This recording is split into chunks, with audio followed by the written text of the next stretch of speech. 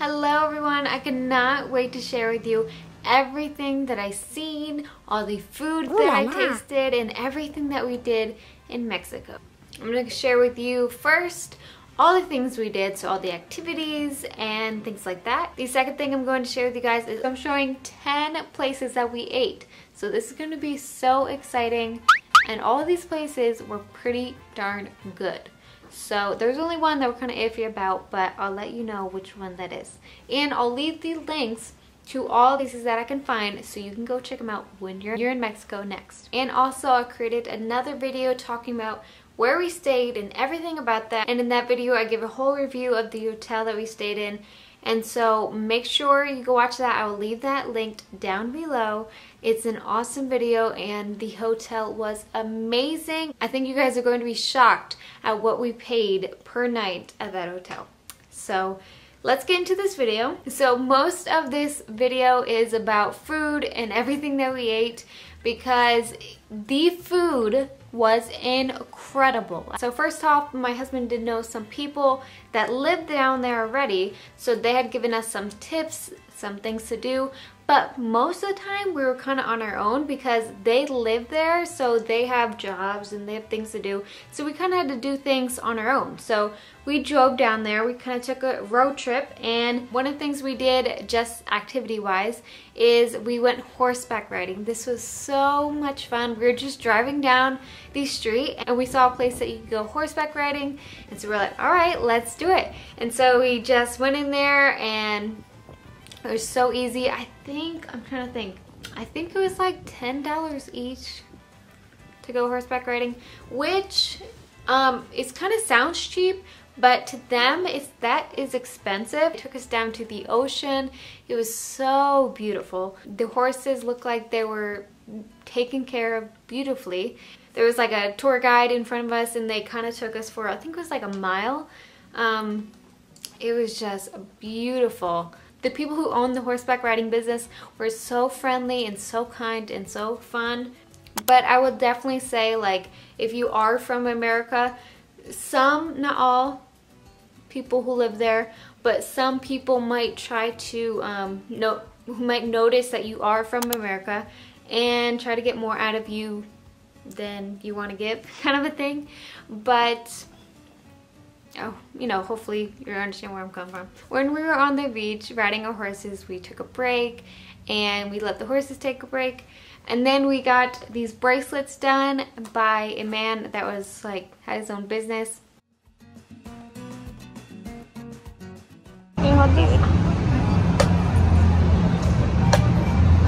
Ah, muchas gracias.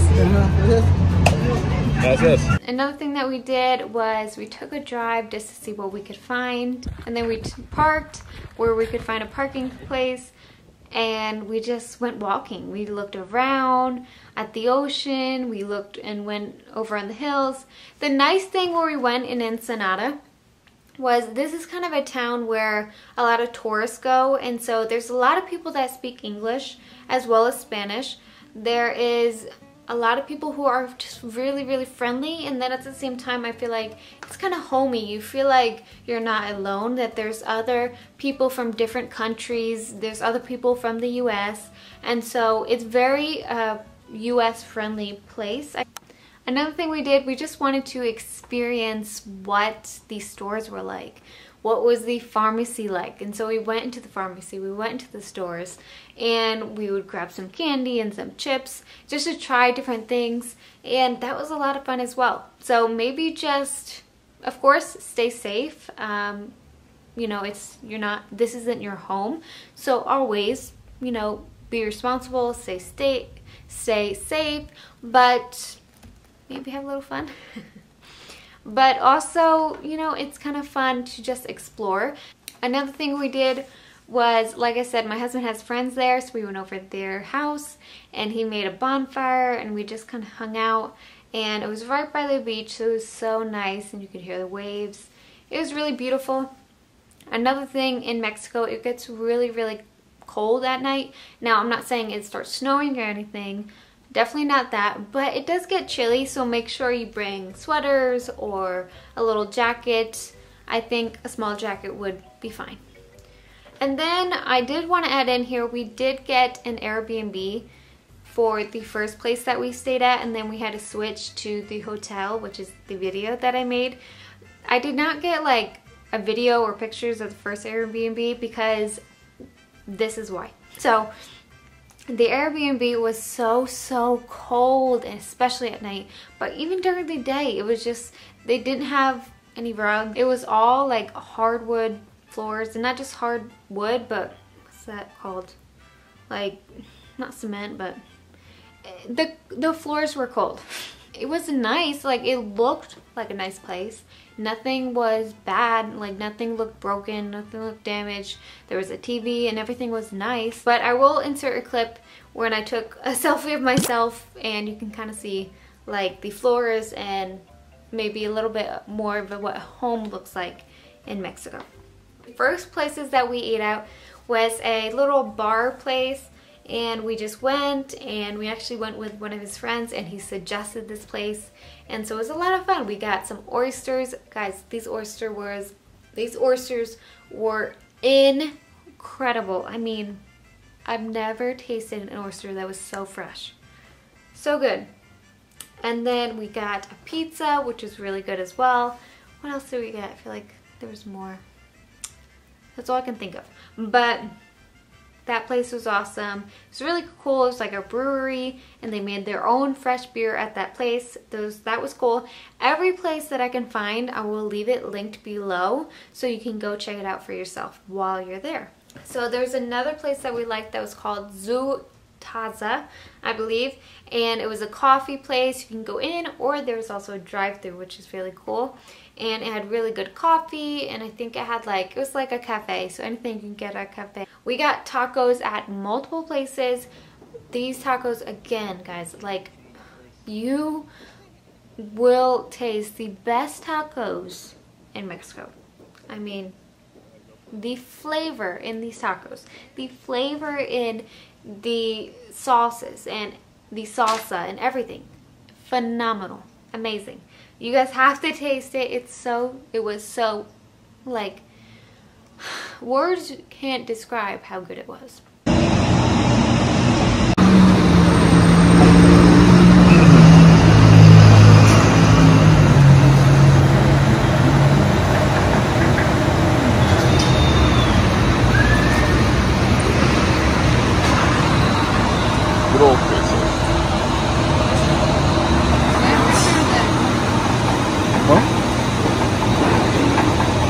Okay.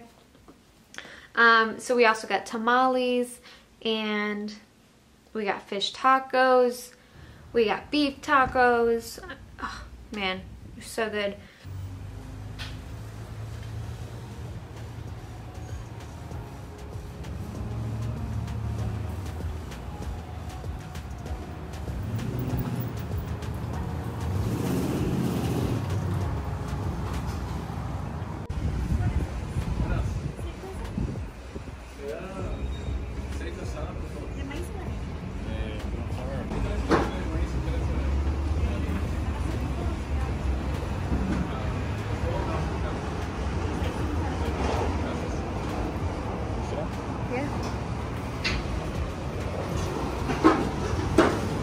So at each place that we went to, the tacos were a little bit different. Some was just a little bit different, all amazing, but some were just tasted different.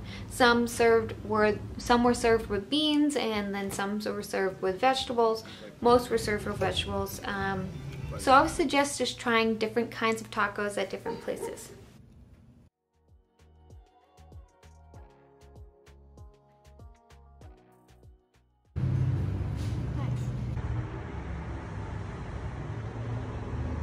So another amazing place. It was a place called, oh, what's it called? It was called Ochentos Pizza. And it was so good, guys. It was a brick oven pizza. And then, of course, there was like pasta that you could get and other things. Now, coming from where I come from, I know Italian food. So I was just kind of like, like pizza in Mexico, you know what I mean? Like, I'm here for the tacos, you know, kind of thing. But this pizza wow, it really did blow me away. It was amazing. They also had, it was also a winery, and so they made their own wines. And when you drive up to this place, it's a little hard to find, but getting there is so beautiful. You kind of have to go through this highway, and then there's a and then you go down this dirt road and there's like farmland but once you get closer you can start seeing the grapes and everything like that so it's so so beautiful and I love the way the this place looked. It had lights and it was just so beautifully lit. It was gorgeous.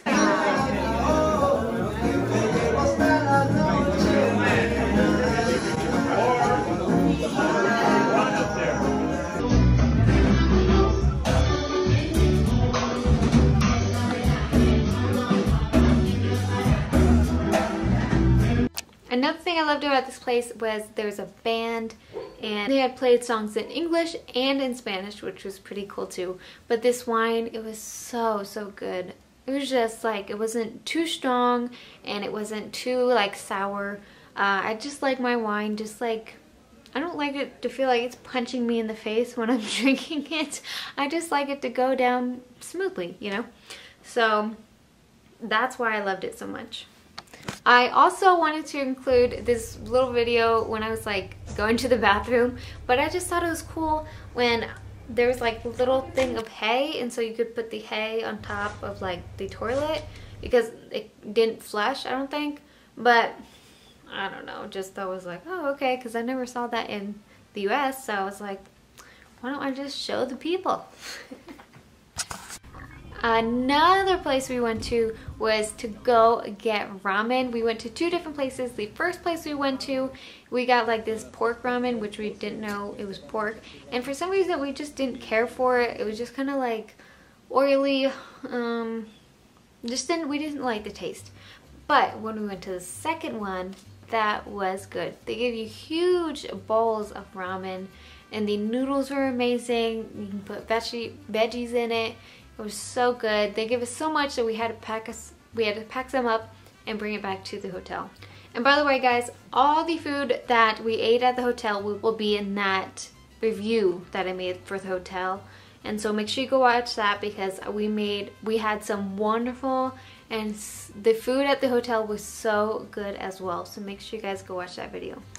Oh, I almost forgot about this last place. So we went to the sushi bar Mm. Like, I was so shocked because I was like, when I went to Mexico, I was just thinking about tacos and Mexican food. But then, like, the Italian food was amazing. The pizza was amazing. The sushi at the sushi bar was amazing.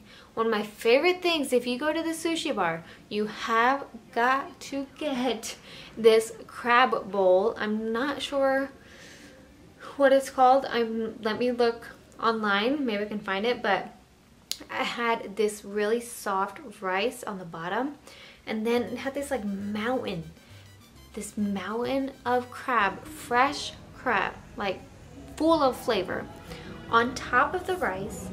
And then I think it had maybe like this cream sauce. I'm not sure. Um, guys, like I don't know how to describe this food because it was out of this world. And I was just shocked, like I can find this food in Mexico, like Mexico. Like half of the, most of the food that we ate was 10 times better at the sushi bar here in the US. Like it was just incredible. The flavor was amazing. And so we got these things and me and my husband just kind of ate them together and shared them. Ah, all of this food was amazing.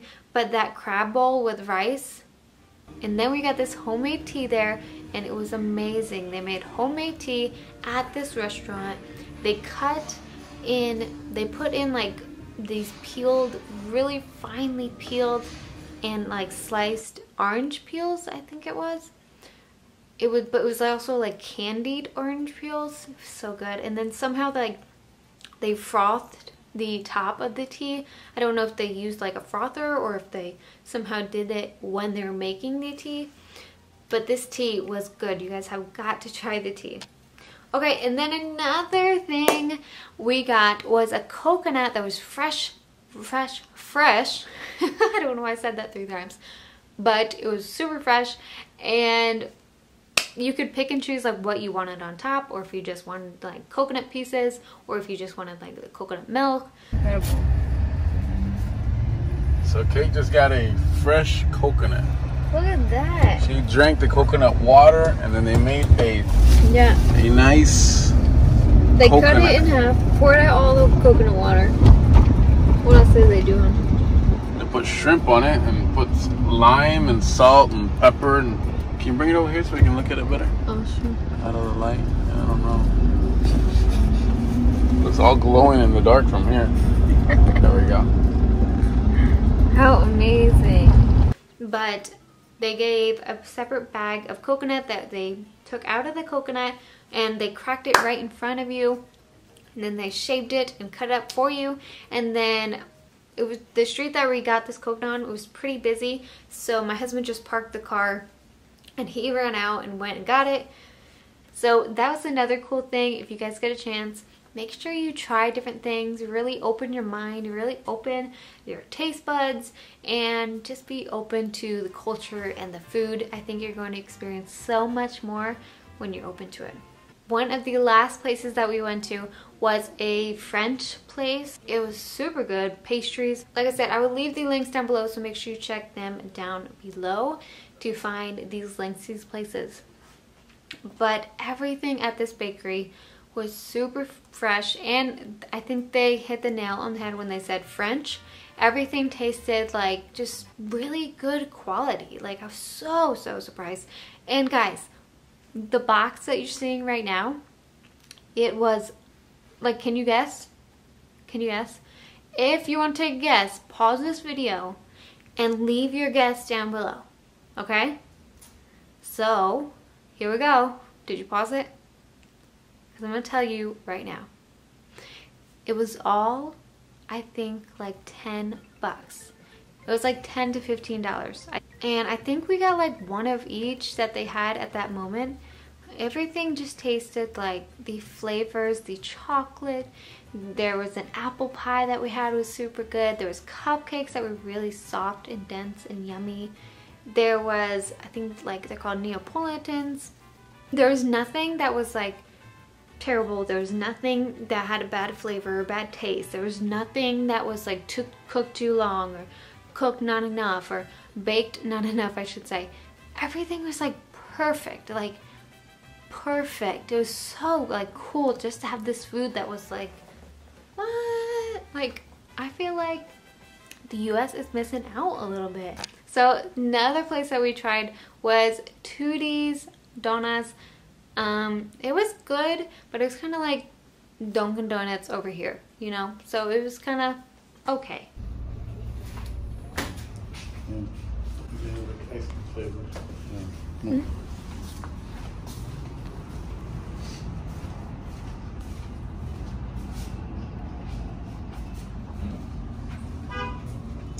Okay, the last thing that we got was ice cream. And so I don't think this was like the best ice cream that we could have got in Mexico, but it was good. It was, I forget what it was called. but I'm sure I have a video so you guys can see. It was pretty good. It was kind of like, I guess, what would you say? I don't know. Hershey's maybe. Hershey's ice cream. I feel like Hershey's would better. I don't know. It was good, but I feel like the food that we tasted in Mexico, it could have been as good as that food if we found the right spot. But like I said, half the time we were just driving around and we found it, so we're like, okay, let's go. And Amaretto. pretty good. What is it? What does it have in it? Cherries and nuts. She said this is the, it's the most um, Popular. popular in the store. Amaretto with a waffle cone. It's pretty good. Is it? It's pretty good. Huh. What do you think? You want to try it? I loved this, you know, talking with you guys. And so make sure that you talk to me down below. Let me know what you thought of this video. If you have any experiences, if you have any stories like I did going to Mexico, let me know down below. Thank you guys so much for watching. Please like this video because it helps out my channel and helps me know that you love this video and also subscribe. This channel is not only giving you advice and just like joy and happiness every time you watch this video, but just also loving yourself. And if you love yourself, you want to improve yourself, right? And so that is my goal on this channel is to help you broaden your mindset and just help you with your energy, help you with with your self-esteem and help you with your joy and just your day-to-day everyday to day things. But then also just like who you are inside. How can you make yourself happier? How can you make yourself more excited to wake up every day? You know so that is what we talk about here and I hope you if you enjoy those kind of things or if you're interested hit that subscribe button. I would love to have you. But that is it for today. So I will see you guys next time. Bye-bye.